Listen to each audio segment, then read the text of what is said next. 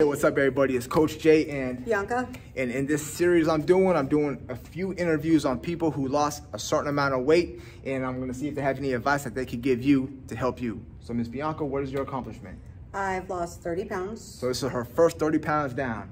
Now, what are your obstacles? Obstacles, I'm a single mom with a daughter Mm-hmm. with special needs who has a lot of therapy and two jobs. So you have a daughter with special needs. Yes, autism. That's a big obstacle.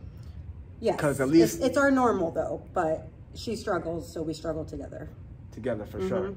And so I, I really want to share that one because we have a good relationship and I know you're comfortable with talking about that and it helps other people.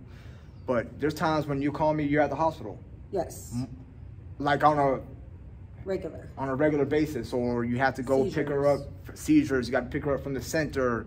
Sometimes the people at the center don't conduct themselves the right way, and they're not even there when you go to drop her off, and it throws your whole day off. Yes, So you have serious obstacles. yes. what advice do you have to give to anybody else who is on a mission to um, lose weight, get in great shape? Invest in a good trainer. Somebody, a life coach. You know, somebody who's going to guide you in the right direction if you have a hard time doing it yourself.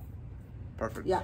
I couldn't have said it better myself. So in this series, like I said, we're just going to interview people who are on their journey, and I want to share that with you because I know this will resonate with the right person.